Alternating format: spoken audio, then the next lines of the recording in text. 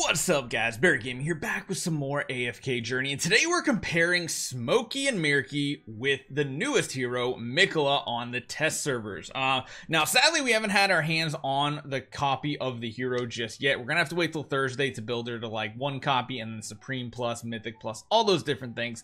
Uh, but just by going over abilities, understanding what she can do and seeing what others are doing with this hero, we can make a pretty good assumption of where she's gonna be the strongest and where her severe severe lack of viability seems to be. So hopefully you guys enjoy this one. Let's jump right into it. Let's talk about the comparison between Smokey and Mikola. So the main reason why we're comparing both of these heroes is they fill very similar roles and they're both S levels from the Mauler faction. We all know Smokey Meerky, very good support hero, has that constant aroma around him that is healing, starts at two tiles, which is very much like Mikola's ability, and gets even wider. They both have attack buffs when their aura aroma is running, and they both go up to 20%. So that is something that is very similar. And they also have additional heals, heals where Smoking Meerky's is again more AoE based, while Mikola's is single target, triple, three target, plus some buffs to physical and magic defense, things like that. The big difference here comes in the form of their Mythic Plus. Now, both Mythic Plus exclusives can do damage, but the one thing that Smokey Meerky will continue to do is be the best pushing AFK Journey hero because he does percent of enemy max HP without any limit or threshold based on his own attack. So the damage gets out of control. Also has like a mini stun in there as well. Uh, definitely hero you don't need to go to Supreme Plus because it just increases the healing amount. And we all know Smokey Meerky is amazing. Now when we compare him to Mikola, that's where the true comparison comes in because they fill a very similar niche between these two heroes. Again, Dauntless Hymn generates a two tile uh, sphere that follows her around. The big difference here she has a range of one and she is a melee damage dealer when she's not healing. So that is something to keep in mind that she's very much going to be supportive of melee S teams. Whereas if you typically have range units on the far side of the battlefield, she's not going to be able to support them as well as a melee team. And we're going to be going over a bunch of different videos of team compositions that she's going to do really well in when we get her on global. But for now, we're going to be talking about this again. She does give haste and range defense to allies that are within that sphere. That's really good when she gets to a certain amount of total damage dealt. Uh, She's going to do a big AoE heal. And you can see here the duration of the Courage Sphere goes up. The healing goes up. All those fun things. Uh, the one thing that's really interesting is Heroic Duel does not work properly currently on the test servers. It says this spans the entire field, but in reality, it's like the three centermost tiles on the battlefield, which is really weird and I don't think is honestly attended. Either they messed up the text here or they messed up the actual implementation of the video because it just simply does not work. Um, I think I actually might have a picture of it right now. It's one that Vulcan actually sent me because we were talking a bunch about this hero last night. Uh yeah here it is. So actually he has a picture of this here. Let me drag it over to the screen so you guys can see it too. Uh, you can kind of see how it's this like ring right here. That's nowhere near the entire battlefield. That's like literally three tiles across, which is a big issue in a lot of situations. So this doesn't seem to be working properly. But again, she's going to restore allies HP uh, in that section and increase their attack. So this is almost perfectly the same as long as you're inside the aroma from Smokey Meerky and as long as you're inside this honor arena that works. Again i think it's meant to be those three tiles to be honest. I don't imagine it's supposed to be the entire battlefield. Um so we'll have to see. Uh, she does have of course that single target or three target healing as well as giving herself and those allies physical and magic defense which is really really cool.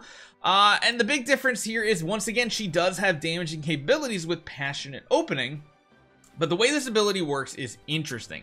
She does have, you know, vitality boosting, things like that. But, uh, so let's read this one more time. Uh, once Courage Sphere, which is her ultimate that lasts up to 12 seconds, has been active for 6 of those seconds. It grants Combat Fury to all allied heroes except herself within range, dealing damage equal to 50% of her attack, not their attack, her attack. So you do need to prioritize building her up to enemies adjacent to those allies. These enhancements reset when Courage Sphere disappears. And of course, it does increase the damage. So compared to Smokey and Meerky, who has that one ultimate worth, uh, 10 seconds worth of uh, percentage damage, hers is technically going to be able to be up a much longer time. Now, this is a hero where I think it's either you go Supreme Plus with her or you really don't build her at all because the Enhanced Force is really what's important.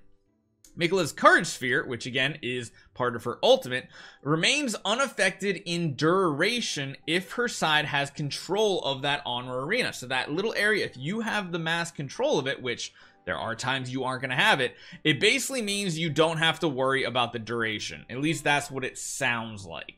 Uh, and that's important because the longer that's up, the longer this should be able to run. Um, so that's really, really interesting how this works. You could potentially have like damage for an entire fight.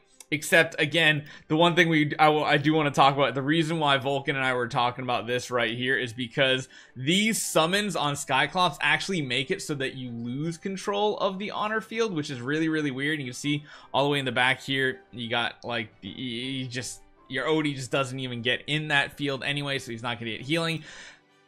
This is going to be the struggle. I think overall, if we're comparing them one to one and you're wondering, should you build a hero?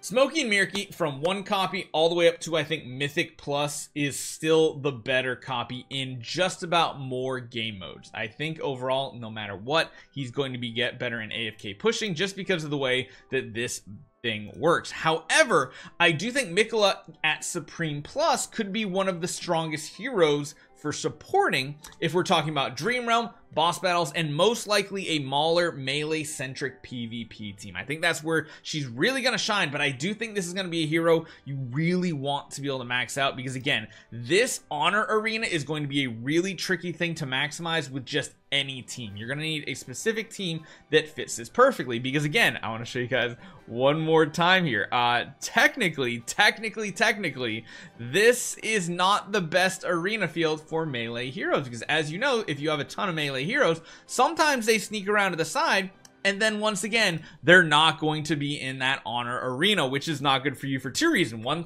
they're not going to get that uh, benefit. And number two, you might lose control of the field too, which is very important.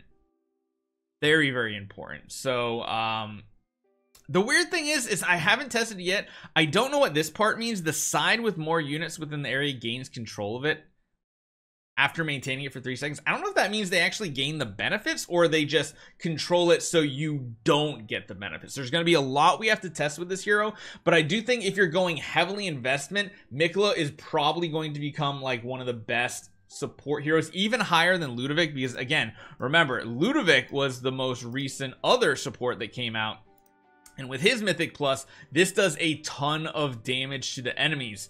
Uh, but it's not as reliable because it's wherever the field is. Whereas with Mikola, you might be able to get this to work a lot better because the damage is based on where your allies are and if your allies if there's multiple allies like it literally takes two allies to essentially get the same effect. If you have like three allies all around the boss it could be even higher damage potential with higher uptime. So we are going to have to test it but i do think Michelote with supreme plus is going to be required to really get the max benefit from her. If not please wait. Do not summon your heroes just yet we want to see if she's useful at lower levels because not everybody's going to be able to take her to supreme plus unlock her exclusive to like at least plus 10 right away so give us some time. Let us test her out. Right away, though, it does seem like Smokey Meerky for the average player is still going to be the better investment. However, Mikola does have some upsides. Hopefully you guys enjoy this one. I'll see you guys next time.